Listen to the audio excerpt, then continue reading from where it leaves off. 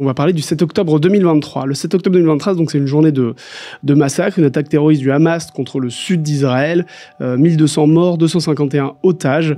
Et aujourd'hui, on est le 7 octobre 2024, un an après, euh, avec tout ce qu'on a appris de ce massacre, on va essayer de comprendre cette journée, ce conflit entre le Hamas et Israël. On va essayer de le comprendre ensemble avec euh, Sonia Delsal Stolper, qui est la chef de notre service Planète. Salut bonjour, Sonia. Bonjour, Corentin. Je vous fais une petite pause dans la discussion. Si elle vous plaît, abonnez-vous à la chaîne YouTube de Libération. On propose des entretiens comme ça chaque semaine.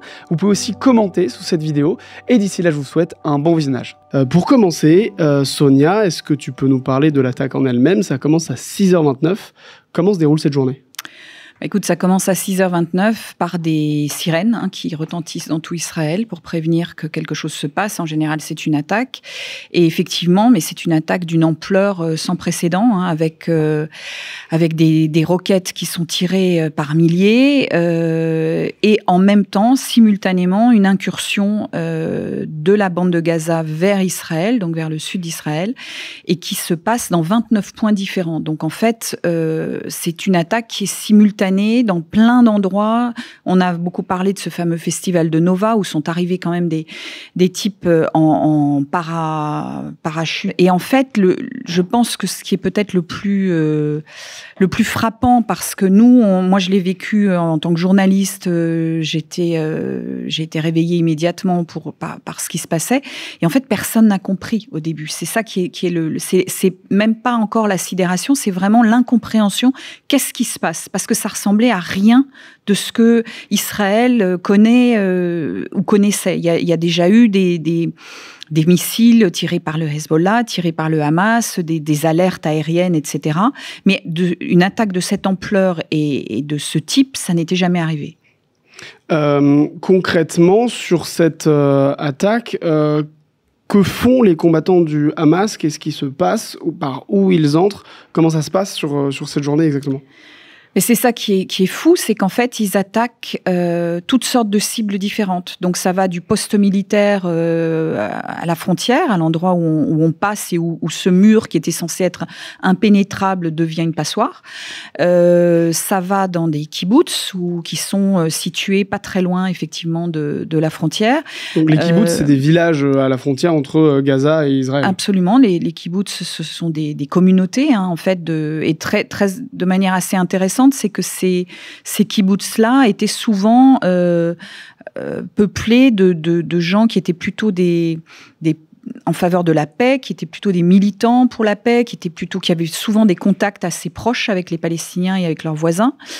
Euh, et l'attaque se fait, c'est une attaque totalement indiscriminée. Donc en fait, les cibles, ce sont les militaires, mais ce sont euh, les habitants des kibbutz, les personnes âgées, les couples, les civils, hein, les enfants, euh, les jeunes qui étaient à la fameuse rave party. C'est en fait tous les civils qui sont là sont pris pour cible, à la fois soit pris en otage, soit abattus sur place directement, euh, voire torturés, euh, brûlés. Enfin, ça a été abominable. Euh, c'était un choc pour beaucoup et on s'y attendait pas, notamment parce que il était dit que c'était une frontière qui était censée être impénétrable entre Israël et Gaza. Pourquoi? Comment? Et comment ils ont pénétré finalement? Ben, il y a eu, y a eu une faille, il y a aucun doute, et l'enquête est encore en cours. Elle arrivera un jour. Hein. On aura une enquête très précise, sans doute un jour, sur euh, les failles de la sécurité israélienne à ce moment-là, des services de sécurité qui n'ont pas vu venir. Il y a eu cette histoire de, de ce qu'on appelle les, les, les femmes qui étaient postées euh, pour surveiller ce qui se passait, parce qu'il y avait des caméras, parce qu'il y avait tout ce qu'il fallait, pour, pour, pour euh, qui étaient postées à la frontière pour voir ce qui se passait, et qui ont signalé qu'elles constataient depuis plusieurs semaine qu'il y avait des entraînements de, membres du Hamas qui se faisaient au niveau de euh, Gaza et ça n'a pas été pris en compte par les services de sécurité. Donc il y a eu à coup vraiment une faille à ce niveau-là qui a permis au Hamas aux combattants du Hamas de se précipiter et de et de perpétrer cet acte terroriste euh, absolument innommable.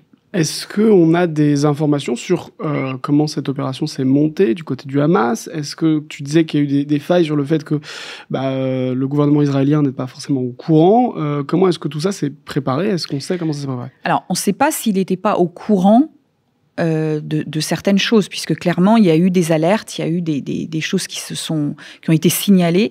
Après, là où il y a eu un défaut euh, évident, c'est de, de, compiler toutes ces informations en se disant, euh, il y a une attaque d'ampleur qui est en train de se préparer.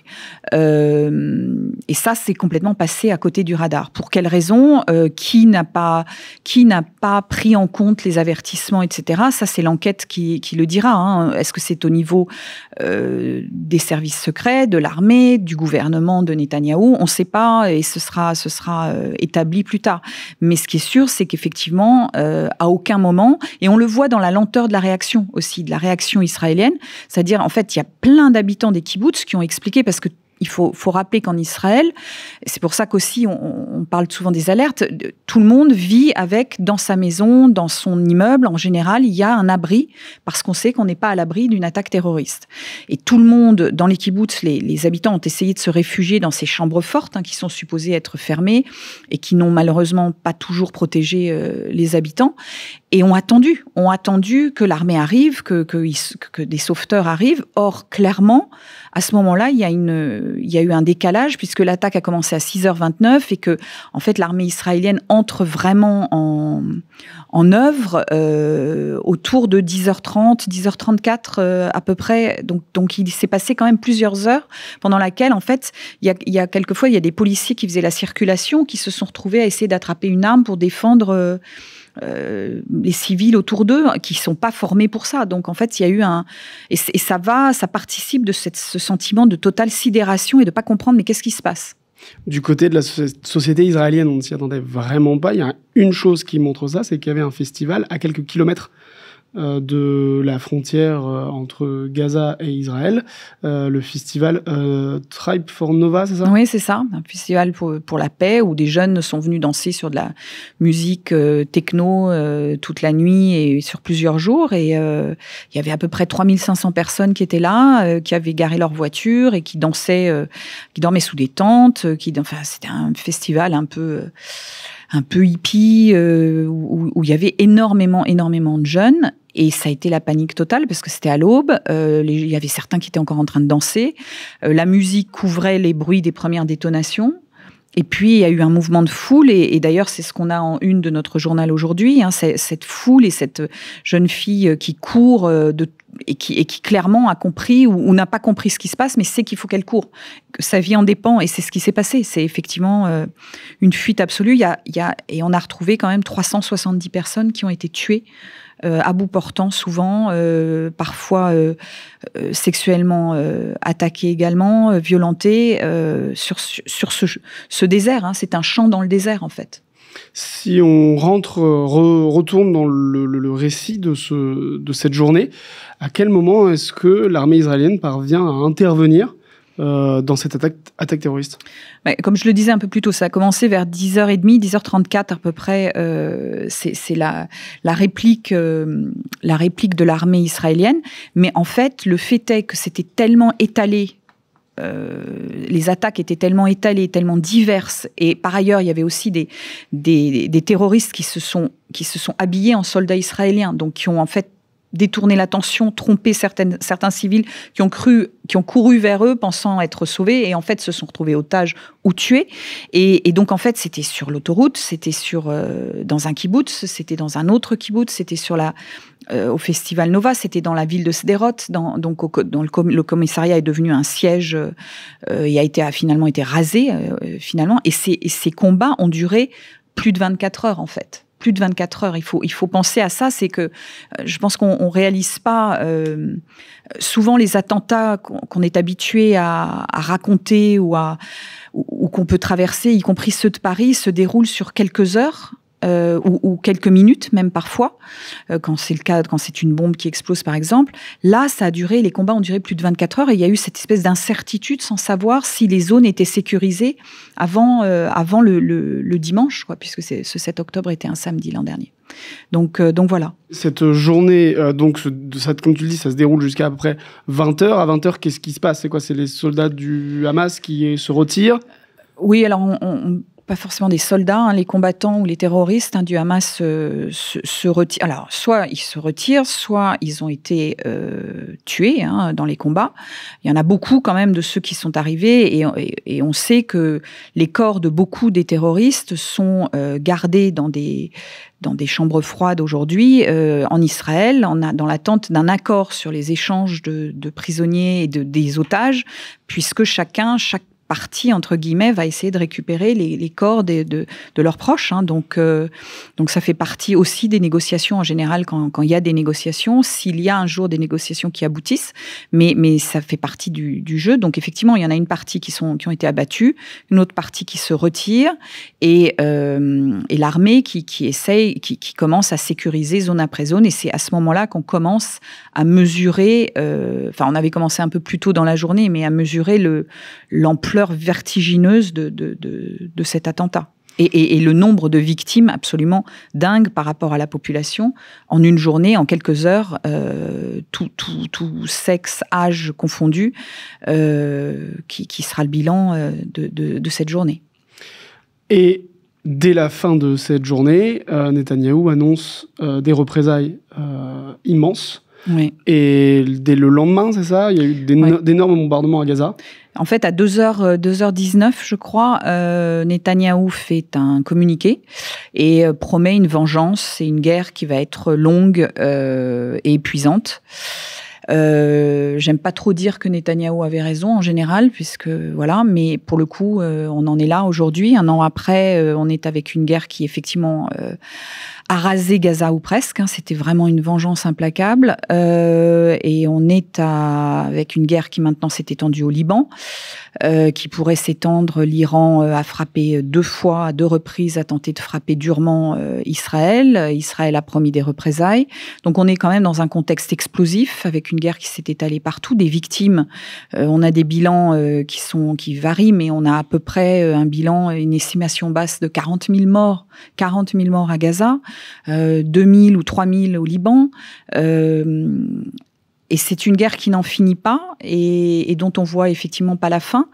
Faut peut-être souligner, peut-être rappeler, peut-être pour pour expliquer aussi pourquoi c'est tellement, euh, pourquoi les représailles sont tellement violentes, c'est aussi que pour Israël à ce moment-là, euh, Israël était considéré comme étant l'endroit de refuge. Hein, c'est comme ça que, et c'est sur cette, euh, cette idée que, que l'État d'Israël a été créé, de pouvoir avoir un endroit où euh, les Juifs du monde entier peuvent vivre en paix et se réfugier et vivre en paix. Euh, et là, soudain, ce sentiment qui était un un faux sentiment de sécurité, puisqu'on a déjà parlé du fait qu'il y avait des alertes, déjà régulièrement des. Et il y a eu plusieurs guerres au fil des années qui se sont avec les voisins, mais il y avait quand même ce sentiment que sur le sol d'Israël, on était à peu près en sécurité. Or là, ce sentiment-là explose complètement ce jour-là. Ça veut dire que plus il n'y a plus y a plus aucun endroit, il n'y a plus aucun sentiment de sécurité. Donc euh, il y a euh, cette, ce sentiment aussi de citadelle assiégée et qui, qui provoque derrière euh, ces représailles qui n'en finissent pas. Vu la puissance de ces représailles, moi je me demande, mais pourquoi le Hamas prend cette décision d'attaquer? Est-ce qu'il ne pouvait pas s'attendre à des représailles aussi violentes? Qu'est-ce est-ce qu'on sait ce qui s'est passé dans la tête des chefs du Hamas pour prendre cette décision? Alors non, on ne sait pas ce qui s'est passé. Ce qui est intéressant, c'est que souvent, euh, et de, ce qu'on sait pour le moment en tout cas, c'est que euh, l'attaque a surpris y compris les alliés du Hamas donc y compris le Hezbollah au Liban, euh, y compris peut-être une partie de la branche politique du Hamas qui était euh, au Qatar. Euh, donc ça a pris tout le monde par surprise. Il y a des théories selon lesquelles initialement ils auraient voulu essentiellement prendre des otages pour pouvoir effectivement obtenir un échange de prisonniers machin. Ça tient pas trop debout vu la violence et l'atrocité, la perversité de l'attaque quoi, hein, euh, qui dépasse l'entendement. Euh, le, la, je crois que non, que c'est compliqué d'avoir la moindre interprétation de qu'est-ce qui a poussé. C'est pas un acte de résistance pour une cause. Ça peut pas être ça parce qu'effectivement, euh, le Hamas pouvait pas et Sinoir, le, le, chef de la branche militaire, ne pouvait pas imaginer une demi seconde que et, le chef du Hamas ne pouvait pas ne, ignorer ces représailles. Que, que, les représailles seraient. Donc en fait, ce qu'il faut peut-être souligner, c'est qu'en fait, ni Sinoir euh, au, à Gaza, donc pour le Hamas, ni Netanyahou n'ont en fait vraiment à cœur euh, la cause de leur population. Quel, quel défenseur de, de son peuple peut engager une action qui va provoquer derrière euh, l'anéantissement de 40 000 de ses citoyens, quoi, qui sont dans et, le et la destruction absolue du territoire? Euh, de la même manière, euh, quel chef d'État et de gouvernement peut continuer à toujours plus loin dans le dans dans dans, les, les, représailles, alors que 150 euh, otages sont encore aux mains, on ne sait pas combien sont encore vivants, sont encore aux mains du Hamas dans des tunnels, dans des conditions, on n'a aucune idée de leur état et on, suppose que peut-être au moins euh, une soixantaine d'entre eux sont peut-être déjà morts. Enfin, voilà, il y a, y, a, y a, et puis de, de, se retrouver dans un état de siège permanent, hein, de, de, de, violence permanente. Donc, en fait, je pense qu'aucun des deux euh, protagonistes qui sont les deux, des deux côtés de ce conflit n'ont vraiment à cœur euh, la survie de leur population ou le bien-être de leur population. Euh, est-ce que on sait s'il y a des liens politiques entre euh, Netanyahou, donc premier ministre israélien, et le Hamas avant cette attaque-là? Alors, il n'y a pas des liens politiques. Il euh, faut, bien faire attention. Le Hamas est une organisation terroriste, hein, considérée comme terroriste par, par l'ONU, par l'Union européenne, etc. le gouvernement de Netanyahou est un gouvernement démocratique, élu démocratiquement ce qui se passe, c'est que le Hamas a été élu, à un moment donné, on peut discuter des conditions, etc., mais a été élu pour gouverner, entre guillemets, Gaza. Donc, euh, donc effectivement, des membres de, la branche politique du Hamas euh, gouvernent les, différentes institutions à Gaza. Et ce qui est vrai, c'est que pendant pas mal d'années, euh, Netanyahou a plutôt favorisé euh, le Hamas dans le sens où a laissé passer, par exemple, des financements qui étaient qui passaient par le Qatar et qui arrivaient par Israël et qui étaient ensuite transmis au Hamas pour construire un hôpital, développer une université, etc. Donc, donc en fait, c'est ce lien-là. On dit, on dit souvent Netanyahou a favorisé. Alors, je ne sais pas si c'est favorisé, mais en tout cas, il n'a pas empêché euh, le Hamas en pensant, et je pense que quelque part, il s'est dit, le Hamas gère euh, Gaza. L'autorité palestinienne, ça l'affaiblit parce que du coup, le Hamas prend la main sur Gaza et donc l'autorité palestinienne est réduite à la, portion congrue euh, sur la Cisjordanie notamment. Et par ailleurs, Netanyahou n'a jamais eu beaucoup d'intérêt à ce que, à ce qu'en fait le l'autorité palestinienne ou la solution, la solution à deux États euh, se, profile vraiment euh, pourquoi? Pour plusieurs raisons. La première, c'est parce qu'il n'est au pouvoir que grâce au soutien de l'extrême droite, qui elle-même est en faveur de la disparition, enfin surtout pas de, l'existence d'un État palestinien, qui soutient euh, la colonisation illégale de la Cisjordanie et de Gaza hein, aujourd'hui. Donc il est, il est tenu, en fait, il, ne doit sa présence au gouvernement que grâce à ce, après s'être allié avec cette extrême droite. Et d'autre part, parce qu'il a une série de casseroles judiciaires j'allais dire, euh, aux chevilles, on va dire, pour pas dire autre chose, euh, et qui font que pour le moment, il bénéficie de l'immunité euh, dans la mesure politique puisqu'il est Premier ministre. Mais le jour où il n'est plus au pouvoir, la machine judiciaire se remet en route. Ce sont des procès pour corruption et il risque la prison. Donc il n'a aucun intérêt ni à ce que la guerre se termine, ni à ce qu'il quitte le pouvoir. Donc pour lui, l'intérêt, c'est plus la guerre se prolonge, plus je, ou moins, moins les barreaux d'une prison éventuelle se rapprochent. Euh, et justement, en un an, comment est-ce que la société israélienne a perçu ce conflit, comment est-ce que ça a évolué? Et comment la société israélienne a perçu euh, les actions du Hamas et de Netanyahou? Super, c'est très compliqué à expliquer. Je pense que il y a à la fois, euh, on en parle très souvent avec notre correspondant sur place qui connaît très très bien la société israélienne, Nicolas Rouget.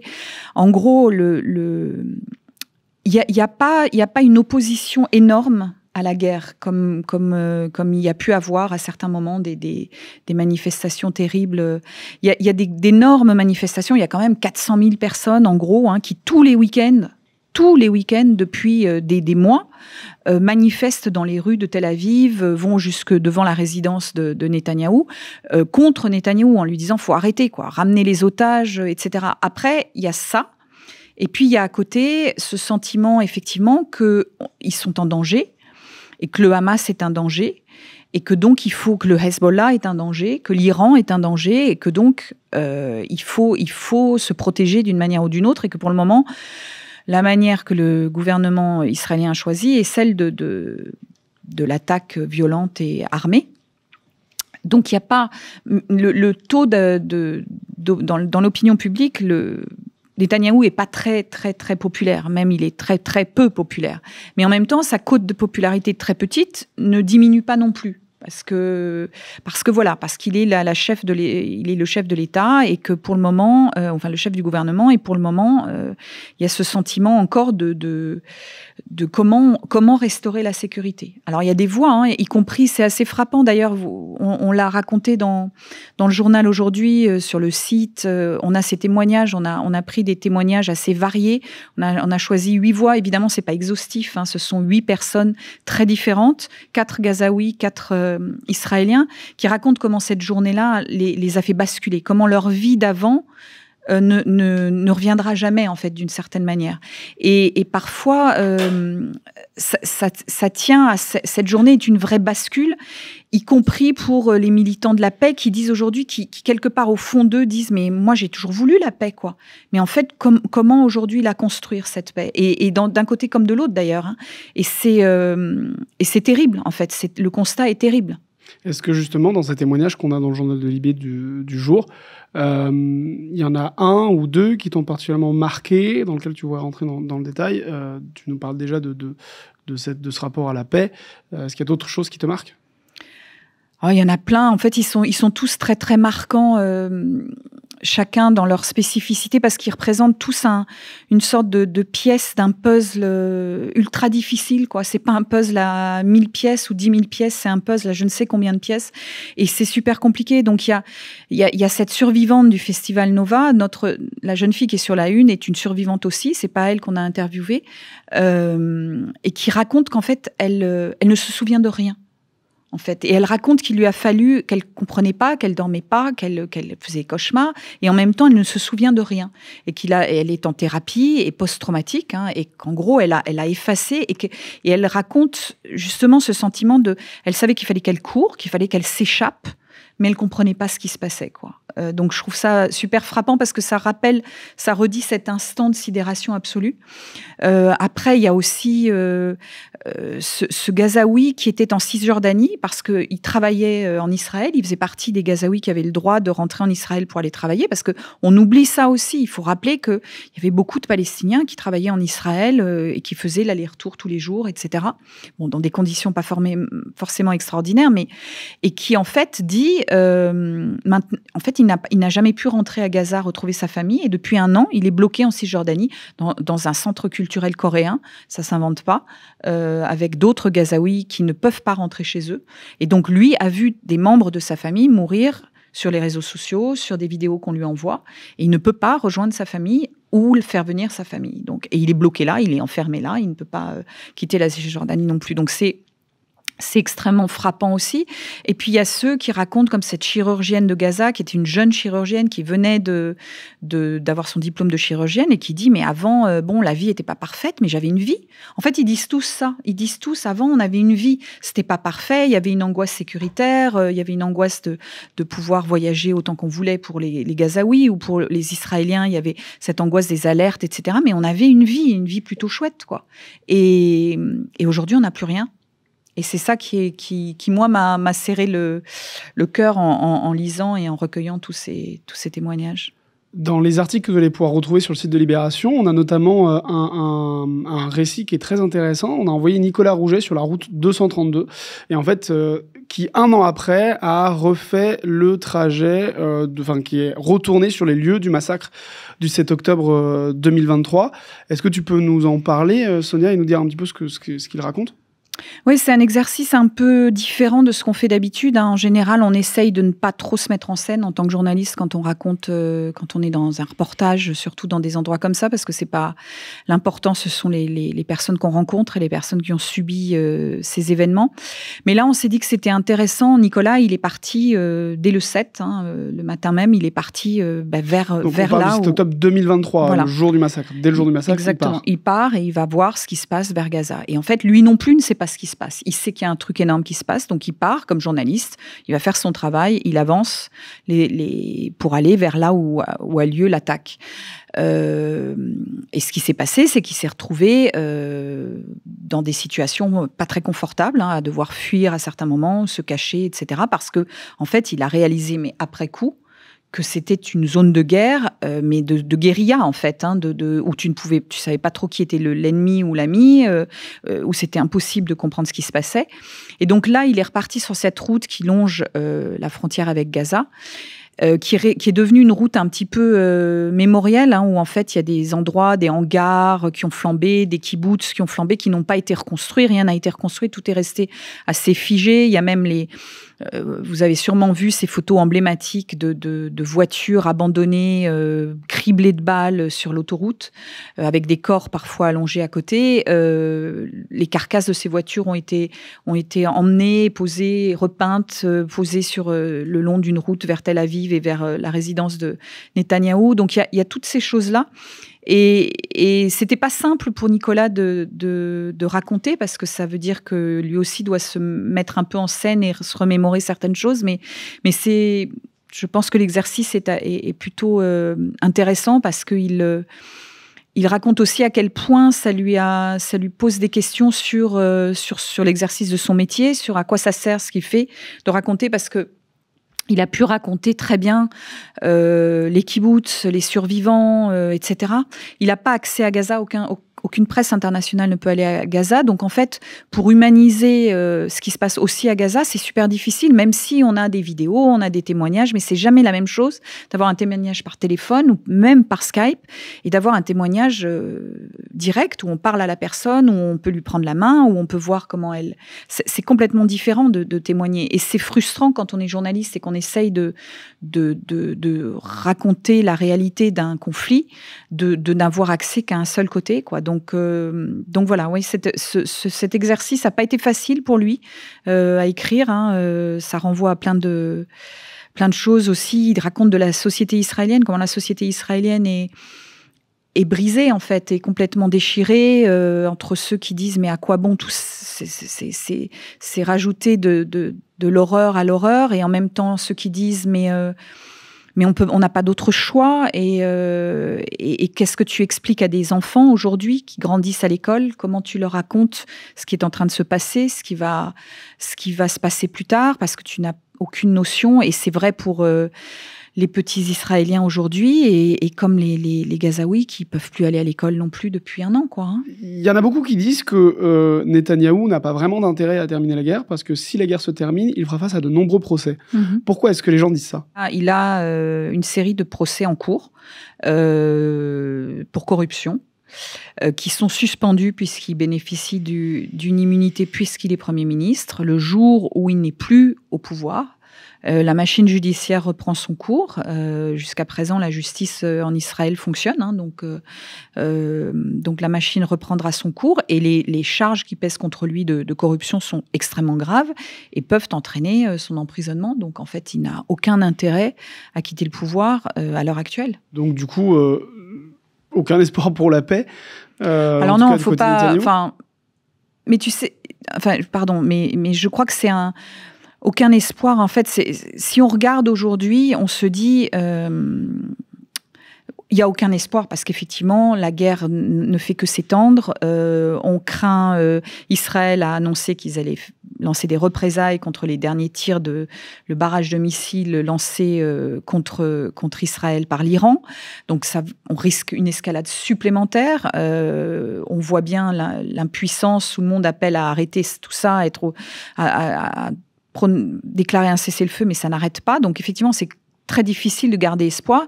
Après, il faut se rappeler aussi que j'ai interviewé récemment le haut commissaire aux droits humains de l'ONU. Euh, et dans une des, une des questions, je lui ai posé exactement cette question en disant il n'y a plus d'espoir. Et il m'a dit j'ai toujours été frappé de voir que l'écrivain euh, autrichien Stefan Zweig s'est suicidé en 1943. Euh, profondément déprimé par la guerre, au cœur de la guerre, de la Seconde Guerre mondiale. Et il dit, euh, et il venait d'écrire euh, Le Monde de demain, donc un, bouquin qui, un peu visionnaire sur sur la, fin d'un monde et le début d'un autre. Et il disait en fait, s'il avait attendu seulement deux ans, il aurait vu émerger un monde complètement différent, où l'ONU était créée, où on a ensuite fondé l'Union européenne plus tard, enfin l'ancêtre de l'Union européenne, et un monde en paix en tout cas dans un premier temps.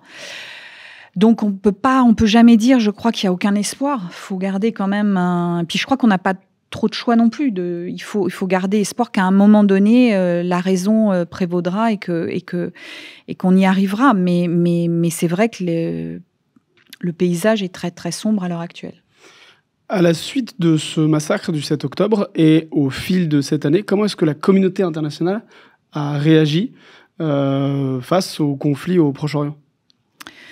Bah, La communauté internationale, elle réagit dans. Alors, elle agit dans le sens où euh, elle essaye d'apporter une aide humanitaire, notamment euh, à Gaza, dans la mesure du possible, hein, dans ce qui lui est autorisé, puisque c'est Israël qui contrôle les passages et, autres.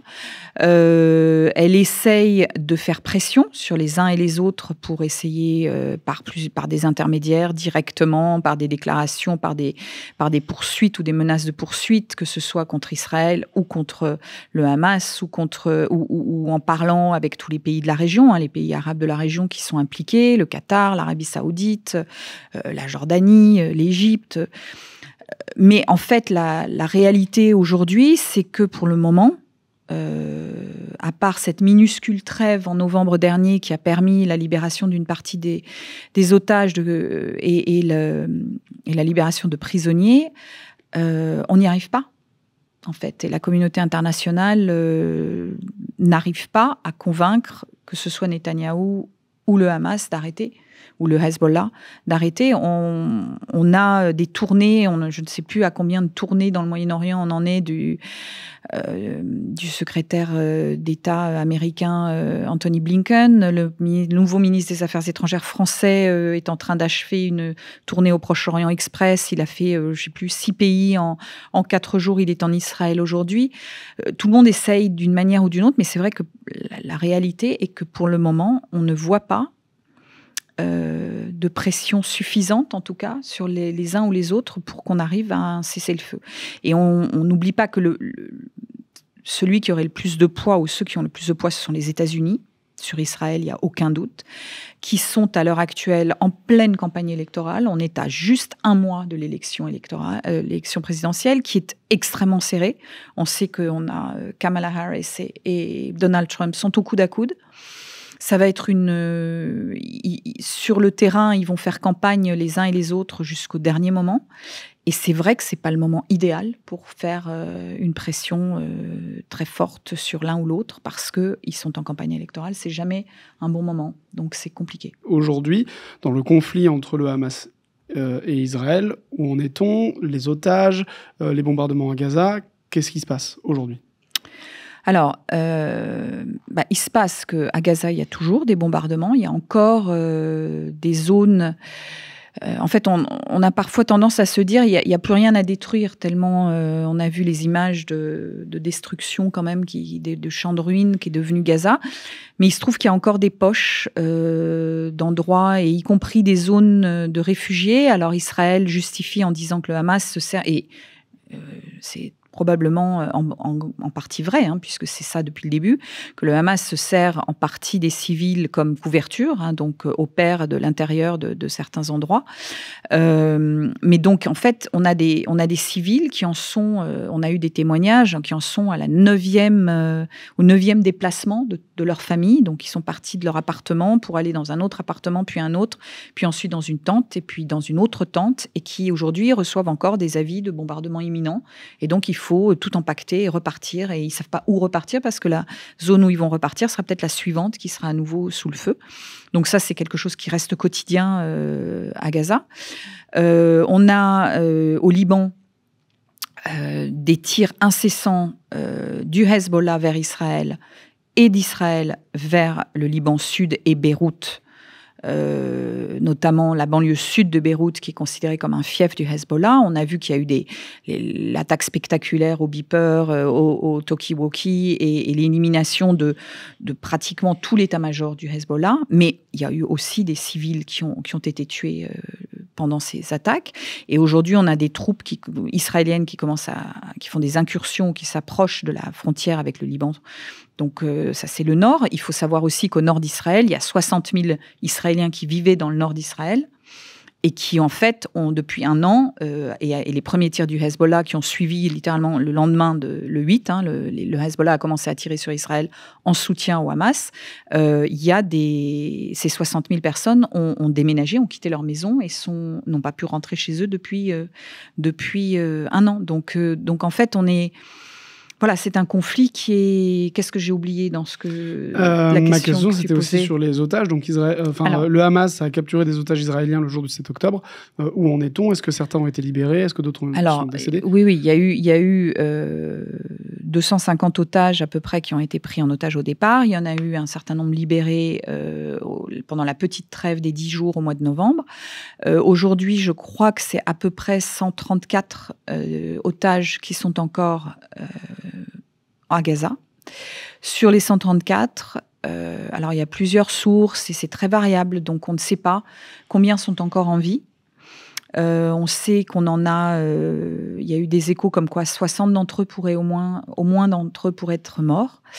Euh, on a appris aujourd'hui qu'un des otages euh, est bien mort là-bas et son corps est encore à Gaza. C'est sa famille qui l'a annoncé aujourd'hui. Euh, on a dans nos témoignages, par exemple, le frère d'un des otages qui a survécu, en fait, jusqu'au mois d'août, quoi, et qui a été tué par les Israéliens, en fait, qui les ont pris pour des pour des terroristes ou pour des attaquants ou je ne sais quoi.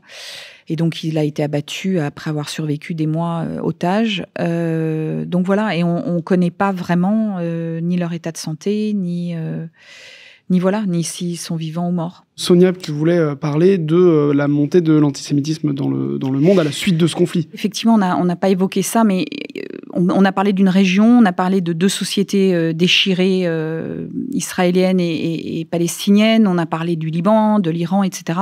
Ce qu'on n'a pas évoqué, effectivement, euh, c'est pas pas forcément le jour, mais en même temps si, je crois, à quel point ce, ce qui s'est passé le 7 octobre a eu un impact dans nos sociétés à nous, hein, nos sociétés, que ce soit la France, l'Europe, les États-Unis, etc. On l'a vu avec un nombre de de manifestations euh, à la fois euh, pro-Israël, mais aussi pro-palestinienne, et, l'incapacité absolue euh, de, de, pouvoir être à la fois pro-Israël et pro-Palestine, comme si ou pro-palestinien, comme si c'était absolument antinomique. Et effectivement, cette montée, mais immédiate, hein, qui a fait suite littéralement le, lendemain du 7 octobre de l'antisémitisme et des actes antisémites dans, dans, dans nos sociétés, de manière absolument vertigineuse, ça fait très très et ça, et ça joue aussi dans, dans ce sentiment de, de de, de, manque de sécurité absolue euh, pour, euh, pour la société israélienne, mais aussi pour les juifs du monde entier. Et c'est pas normal. On devrait pas, ce n'est pas normal et il faut le rappeler. Euh, et comme ce n'est pas normal, de, et c'est curieux de se dire qu'effectivement, ce conflit a généré des divisions dans nos sociétés à nous aussi, comme si euh, rendre, enfin, souligner l'atrocité et la tragédie du 7 octobre euh, empêchait de souligner la tragédie et l'atrocité de ce qui se déroule depuis 365 jours. Euh, et moi, je crois que, que c'est possible de faire les deux et, de, et, que, et que de souligner l'un ne nie pas la souffrance de l'autre, ou souligner euh, le, la douleur de l'un n'empêche pas de, de souligner celle de l'autre. Voilà, c'était mon petit mot de la fin.